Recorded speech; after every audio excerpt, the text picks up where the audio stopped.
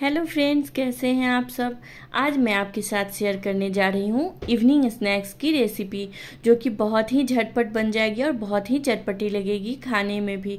तो चलिए वीडियो को स्टार्ट करते हैं। अगर ये मेरी वीडियो आप लोगों को पसंद आए तो लाइक कीजिए, सब्सक्राइब कीजिए एंड शेयर कीजिए। तो चलिए मैं आपको बारी बारी से बताती हूँ कि किन इंग्रेडिएंट्स की हमें ज़रूरत है। तो ये स्नैक्स बनाने के लिए मैं सबसे पहले एक बड़ा सा बॉल ले रही हूँ। उसमें मैं चॉप किया हुआ सबसे पहले टमाटर डाल दे रही हूँ, उसके बाद शिमला मिर्च, ये हरी वाली शिमला मिर्च है। आप चाहे तो कोई और भी डाल सकते हैं, रेड, येलो, कोई भी। इसके बाद मैं कुछ चॉप किया हुआ गाजर डाल दे रही हूँ। ये सब आपके ऊपर होगा, जो भी आपको पसंद हो वो डालें या फिर कुछ भी स्किप भी इसमें से कर सकते हैं। तो इसके साथ ही मैं ग्रीन चिली और प्याज दोनों को चॉप करके डाल दे रही हूँ और साथ ही ढेर सारा हमें इसमें धनिया पत्ती भी डाल देनी है। तो ये देखिए, बहुत ही चटपटा सा दिख रहा है अभी से ही और कलर बिल्कुल मल्टी कलर आया है। तो मैं ये रेगुलर सॉल्ट डाल रही हूँ इसमें, जो कि एज पर टेस्ट है। मैं यहाँ पे हाफ़ टेबल स्पून जितना ऑरिगेनो और हाफ़ टेबल स्पून जितना ही चिली फ्लेक्स दोनों डाल रही हूँ। दोनों का टेस्ट बहुत ही अच्छा आता है। अगर आप चिली फ्लेक्स नहीं भी डालना चाहते हो तो कोई बात नहीं। ये अभी मैं डाल रही हूँ half tablespoon chaat masala और टू टेबल स्पून जितना मैं इसमें टोमेटो केचप डाल दे रही हूँ। तो ये देखिए अब सारा चीज़ हमारा तैयार हो चुका है। तो अब मैं इसमें लास्ट में बस टू टेबल स्पून जितना मेयोनीज डालूँगी। तो ये देखिए सारे चीज़ को अब हमें बिल्कुल अच्छे देखने में में भी बहुत अच्छा लगता है। तो देखिए सब कुछ अच्छे हमारा मिक्स हो जाए और अच्छे से मिक्स होके तैयार हो चुका है। तो अब हमें जो अगला स्टेप है वो करना है कि एक और अलग छोटा सा बाउल लेना है। उसमें मैं टू टेबल स्पून जितना मैदा डाल रही और इसके साथ ही मैं इसमें एज पर टेस्ट सॉल्ट डाल दे रही हूँ, बिल्कुल लाइट इसमें टेस्ट आने के लिए। और बस और कोई भी चीज़ हमें इसमें मिक्स नहीं करना है। इसमें अब बिल्कुल हल्का हल्का सा पानी डालते हुए इसका एक मिक्सचर हमें तैयार कर लेना है, जिसमें कि हमें जो हमारा स्नैक्स है उसको डीप करने के काम आएगा। तो ये देखिए ना, बहुत ज़्यादा गाढ़ा करना है और ना ही बहुत ज़्यादा पतला इसे छोड़ना है। तो मैं इसे तैयार कर ले रही हूँ। देखिए, ये बिल्कुल लम्स फ्री हो चुका है तो अब मैं इसे साइड कर दे रही हूँ। अब हमें जो सबसे इम्पोर्टेंट इंग्रेडिएंट है, वो लेना है ब्रेड। तो मैं ये जो नॉर्मल वाला ब्रेड आता है, वो ले रही हूँ और इसे एक ग्लास के हेल्प से कट कर दे रही हूँ। बस बीच से जो गोला निकलेगा, बस हमें वही करना है। और चारों तरफ़ से जो ये इसका कॉर्नर बच रहा है, उसे हमें फेंकना नहीं है।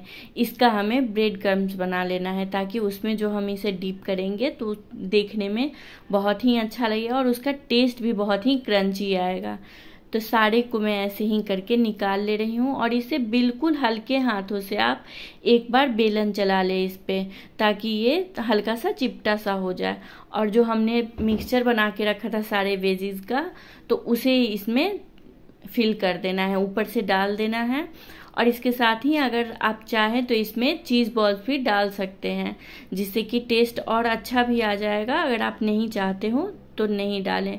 मैं उसे स्किप कर रही हूँ। तो इसके साथ ही जो हमारा मैदा वाला लिक्विड था, उसे मैं चारों तरफ़ से डाल दे रही हूँ, ताकि इसे चिपकने में कोई भी प्रॉब्लम ना हो। तो देखिए, बिल्कुल अच्छे से ये चारों तरफ़ से चिपक चुका है। बिल्कुल भी अब इसमें से कोई वेजिज निकलेगा नहीं, या फिर ये देखने में भी बिल्कुल अच्छा लग रहा है, बहुत ही अच्छा लग रहा है। तो ऐसे ही कर करके मैं सारे ब्रेड को फिल कर ले रही हूँ। मैं यहाँ पे तीन बॉल्स ही बना रही हूँ। तो ये देखिए, सारे ब्रेड को मैं बना के एक साथ तैयार कर ले रही हूँ। और ये जो हमारा मैदा वाला लिक्विड बच गया है तो उसे मैं, उसी में अब मैं इसे डीप कर दूँगी। ताकि जब मैं इसे फ्राई करूँ तो इसमें ना ज़्यादा ऑयल ना लगे और ज़्यादा ये एब्जॉर्ब ना करे ऑयल को। तो इसे करके और एक बार आप ब्रेड क्रम्स में इसे डीप कर लें। दोनों तरफ़ से बार बार पलट पलट के। तो ये देखिए, बहुत ही अच्छा अभी से ही देखने में ये लग रहा है। तो ऐसे ही कर करके मैं सारे को डीप कर ले रही हूँ। पहले इस मैदे के लिक्विड में और इसके बाद इस ब्रेड क्रम्स में। तो अब मैं कर रही हूँ क्या कि एक पैन चढ़ा दे रही हूँ गर्म होने के लिए तब तक, जिसमें कि हमें इसे फ्राई करना है। हाँ अगर आप फ्राई नहीं करना चाहते हो तो इसमें आप ना तो इस लिक्विड को लगाएँ और ना ही ब्रेड क्रम्स को लगाएँ। ऐसे ही आप तवा पे सेक के इसे आराम से खा सकते हैं, वो भी बहुत ही अच्छा लगेगा। तो इधर बातों ही बातों में मेरा कढ़ाई जो है वो अच्छे से गर्म हो चुका है। तो अब मैं इसमें ऑयल डाल दे रही हूँ अच्छे से ताकि इसमें वो अच्छे से डीप हो सके। तो ऑयल जो है गर्म हो चुका है तो अब मैं बारी बारी से इसे डाल दे रही हूँ इसमें। और इसे बिल्कुल डीप गोल्डन ब्राउन कलर आने तक हमें दोनों तरफ़ से पलट पलट के फ्राई कर लेना है। आपको ऊपर से ही पता लग जाएगा कि ये एक तरफ़ से हो चुका है हल्का सा तो आप दूसरी तरफ़ से पलट दे ये देखिए, इसमें बहुत ही अभी कलर डीप नहीं आया है, बिल्कुल हल्का आया है। मैं इसे पलट दे रही हूँ ताकि ये अच्छा से क्रंची हो जाए। बिल्कुल यहाँ पे हमें फ्लेम को लो टू मीडियम रखना है। हाई फ्लेम पे बिल्कुल भी इसे फ्राई नहीं करना है। लो टू मीडियम पे मैं आराम आराम से इसे फ्राई कर रही हूँ।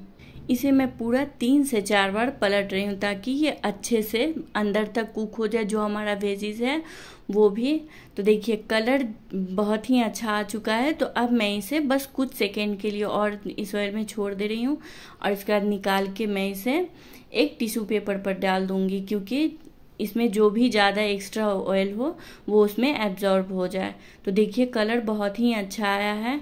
तो अब मैं आपको इसकी प्लेटिंग करके दिखा रही हूँ। ये देखिए, इसे आप सॉस के साथ, चटनी के साथ, जिस भी चीज़ के साथ आपका मन हो तो आप बिल्कुल इसे खा सकते हैं। फ्रेंड्स, अगर मेरी ये वीडियो आप लोगों को पसंद आए तो लाइक कीजिए, सब्सक्राइब कीजिए एंड शेयर कीजिए।